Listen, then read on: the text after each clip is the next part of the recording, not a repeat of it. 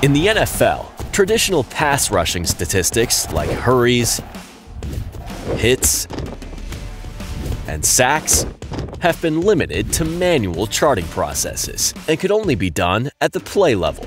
To address this, AWS and the NFL's Next Gen Stats team developed Pressure Probability, a new machine learning powered metric that takes pass rushing stats beyond the box score by measuring pressure for every pass rusher every second of every pass play.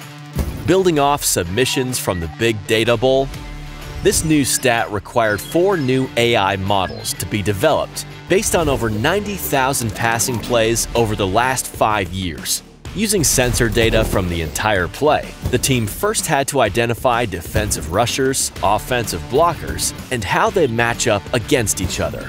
Leveraging this data, AWS built an AI model that's able to identify pressure beyond just distance-based logic. We can now see how quickly a pressure occurs, the magnitude of the pressure, and how it changes over the course of the passing play.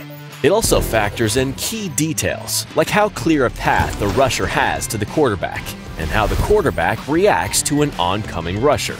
As machine learning continues to transform sports analytics, AWS Machine Learning is opening up new insights and stories about pressure in the NFL. For more info, visit aws.com/nfl.